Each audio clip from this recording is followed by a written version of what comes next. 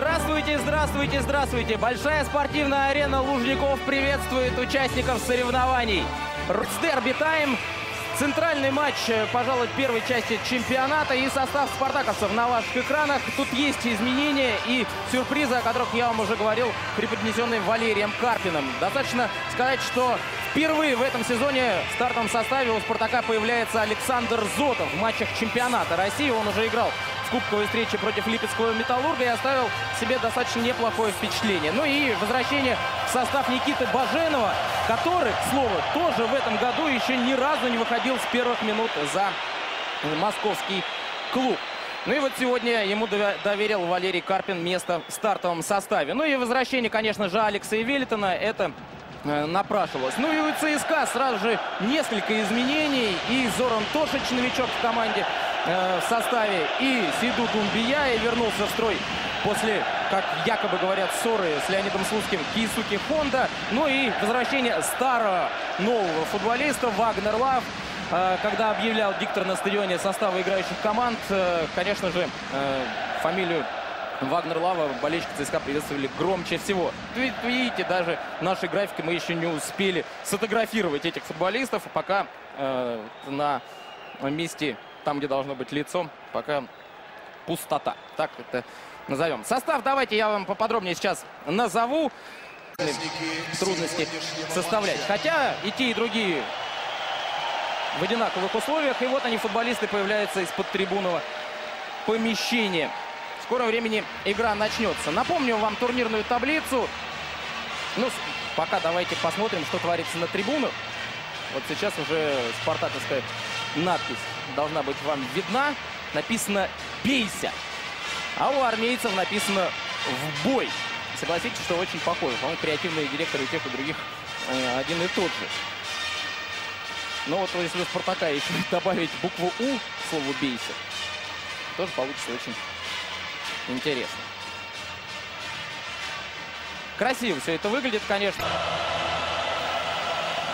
Не, не знаю, как кому, а мне нравится вот это нововведение с э, исполнением гимна Российской Федерации. Было видно, что и футболистам тоже это по душе. Не только россиянам, но и легионерам. Приветствуют друг друга судейская бригада и футболисты. И в скором времени игра начнется. Армейцы сейчас занимают четвертую строчку в турнирной таблице после достаточно хорошего уровня. Но пока он, как вы сами понимаете, за «Спартак» еще не заявлен. Только завтра ему предстоит пройти медосмотр в спартаковском медицинской бригады, вот так это назовем. Но после этого уже будет понятно, когда его «Спартак» сможет заявить. Я думаю, что к следующему туру Пареха уже появится в обоими команды. Может быть, и Валерий Карпин доверит ему место в составе.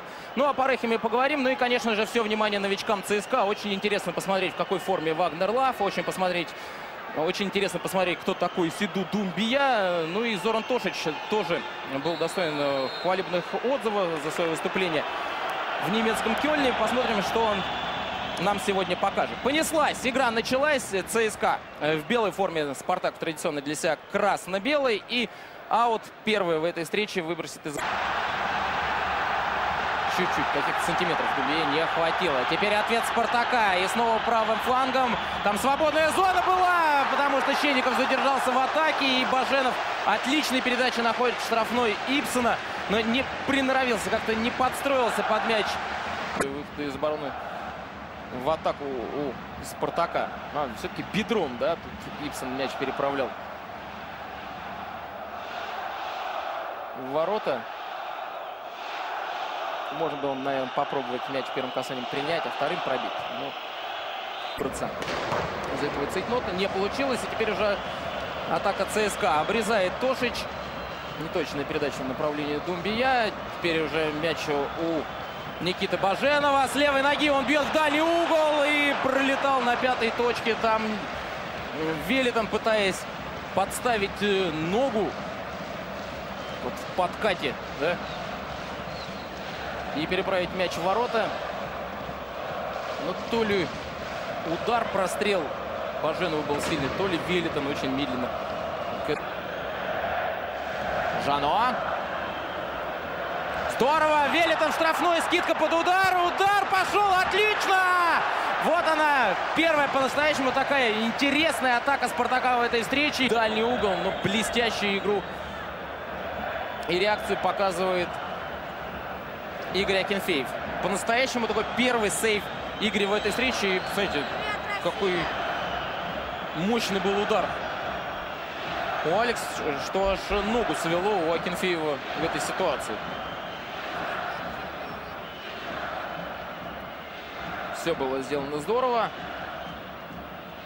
И по мысли, и по исполнению. Ну и блестящая игра голкипера российской сборной. Пока приводит чувство голкипера ЦСКА. Валерия Карпина есть возможность дать ценные указания своим подопечным. Организовался целый водопой у кромки поля спартаковской скамейки. Ну а у Акинфеева, судя по всему, не ногу свело. Просит меня Игорь. Так. У Акинфеева что-то с икроножной мышцей. Ой-ой-ой-ой-ой. Нет, по-моему, Акинфеев игру продолжить не сможет. Да, замена. Замена требуется голкиперу ЦСКА. Вот такие вот дела. Вот так номер, а. Вроде бы ничего не предвещало. На ровном месте. Сибирь меньше всех пропустила в чемпионате. Или нет? Или Акинфеев продолжит игру? Прошу, прошу прощения. Поднимаю руки вверх. Э, забежал далеко вперед. Просто я э, в основном отталкивался от э, движений и реакции медицинского штаба. ЦСКА показали, что замена. И Чевчугов э, не зря продолжил одеваться. Но сейчас он пошел просто разминаться. Ну, Акинфеев мужик, мужик. И переводить, переводить посвободнее здесь на правом фланге. Баженов перелетает мяч через Щенникова. Баженов режет угол. Баженов можно бить. Передача зачем? Ой, гол! Мама мия, что произошло, а? За голову хватаемся. Гол в свои ворота забивает ЦСКА. Мяч от э, Василия Березутского влетает в ворот, но трагедия Игоря Акинфеева. Трагедия. Все обнимают Никиту Баженова, но что он делал? Можно было попробовать пробить, но Баженов делал передачу в направлении Велитона. Давайте еще раз посмотрим. И мяч от Березутского, от, э, так, от пуза, что ли, можно сказать, э, летит в сторону Акинфеева. Почему он не ловил? Почему Игорь мяч этот не ловил? Какой-то курьез, идиотский курьез произошел сейчас э, в штрафной ЦСКА. Почему Акинфеев хотел этот мяч выбить в одно касание ногой? Да, ну дела. Но так или иначе гол не пахнет. Гол есть гол. Этот гол забил, пусть и не футболист Спартака, но он засчитан, как спартаковский. Нет, моя ставка не сыграла. Жано остается на поле, а поле покидает... Таева сказал, хочу, чтобы Джанаев пошел в штрафную Спартака и забил гол. Ой, штрафную Спартака он пошел и забил гол. Штрафную ЦСКА. Теперь хочу, чтобы он пошел и забил гол. Вот э, не уйти от искушения сказать, что хочу, чтобы Акинфеев теперь пошел в штрафную Спартака и забил гол. Да просят меня болельщики краснобелых. Очень обидно, что голкипер российской сборной, надежный голкипер, допускает вот такие ляпы. Курьез, по-другому не скажешь. Штрафной зарабатывают армейцы. Позиция для Кейсуки Хонды. Загарчик-то у Хонды, а? Будь здоров. Солярий, наверное. Ну, про этот загар я даже говорить не буду. Тут даже в солярий ходить не надо. Ну, а вот Хонда так после ЮАР почернел, забронзовел. По-другому и не скажешь. Штрафной это как раз под него, под японца. Под его левую. Колобаев отодвинул стенку, наверное, метров не на 9, а на 12. Сюда она как далековато от мяча стоит. Хонда сам себе аккуратно мяч установил. Прямой разбег. Удар. Пиздяков! Грудью. Пусть и так. Пусть и так. Главное, что мяч не в воротах. А то и от груди мог мяч в ворот залететь. Хонда. Подача в штрафную. Думбия. Но мяч вылетал там из гущи игроков, и Иварицу тяжело его было обработать.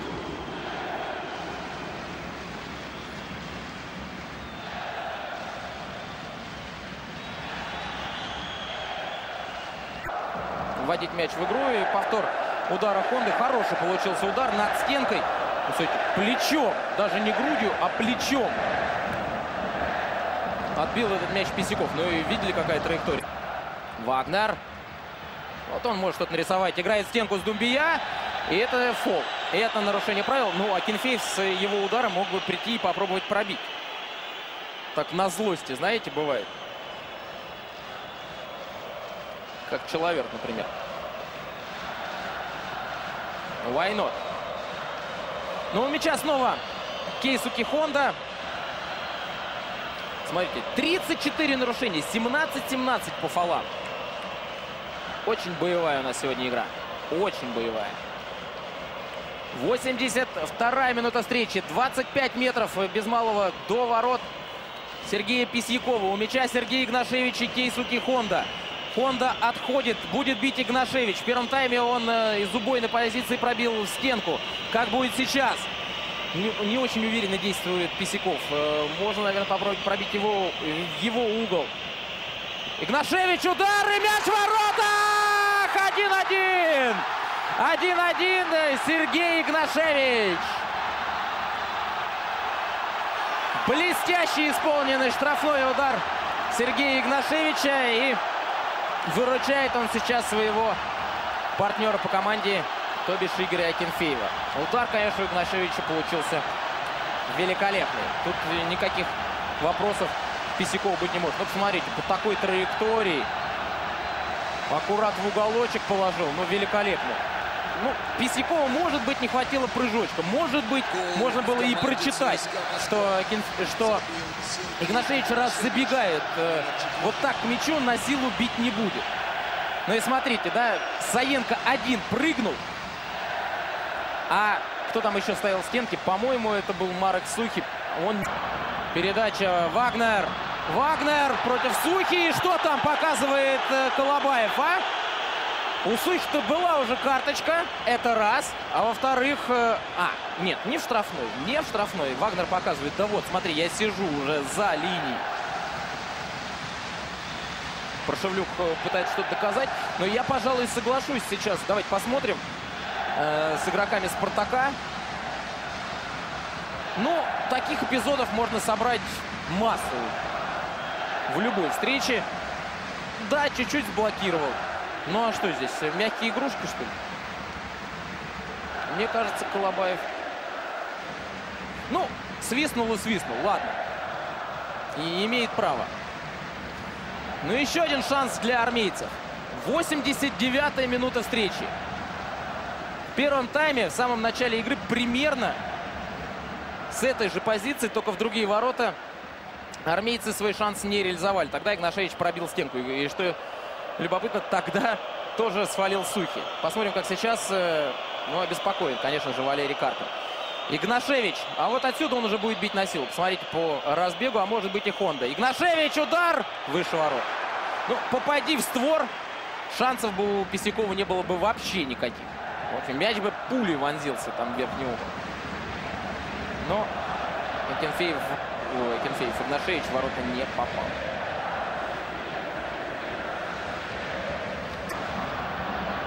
здесь здорово отработал Мамаев. Вообще вот э, Мамаев сегодня проделал колоссальный объем работы. Сыграл очень здорово. Вагнер, выход один на один. Вагнер! Вагнер! 2-1! ЦСКА вырывает победу в дерби в матче против Спартака. Павел Мамаев, герой матча. Да, забил Вагнер, но какой же пас ему сделал сейчас Павел Мамаев. Вагнер Лав, триумфальное возвращение в родные пенаты. Ох, вот это развязочка, а! Вот это да! И что же там центр обороны Спартака? Где Сухи? Где Штранцель, а? Как так можно играть на последних минутах, а?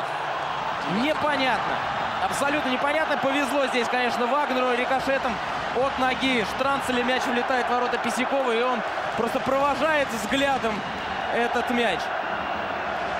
то, что я говорил, вернулась ЦСКА бумерангом. Но не ищите какого-то заговора в моих словах. Не ищите. Но, конечно, и ЦСКА этим моментом распорядился лучше. Ну и Вагнер Лав. Вагнер Лав, а? Под аплодисменты Торсида армейской покидает пределы поля. Уходит он, отработав честно свои 92 минуты и забив 93 даже, уже почти 94. И забив, наверное, победный мяч. И выходит Элвер Рахимич под премиальный, как говорят футболисты. Колобаев смотрит уже на секундомер. И сейчас, наверное, даст финальный свисток. А ЦСКА продолжает атаковать. Секу Алисе не торопится. Идет Штрафной идет к штрафной, его там прессингуют, его там накрывают и чуть не с нарушением правил пытались мяч отобрать. И Алиса заработал угловой и все! Все, финальный свисток Александра Колобаева фиксирует волевую победу ЦСКА в столичном дерби против э, Спартака. Напомню, что на 72-й минуте счет открыл Василий Березутский, отправив мяч в собственные ворота. Так Спартак повел в счете. На 83-й Игнашевич блестяще исполнил штрафной. Ничья 1-1. И уже в компенсированное арбитром время Вагнер Лав принес победу армейскому клубу. Для вас работал на матче «Спартак-ЦСКА» Константин Генич. Это был очень интересный, увлекательный и событийный футбол. Смотрите наш футбол на НТВ+. Всем счастливо. Пока.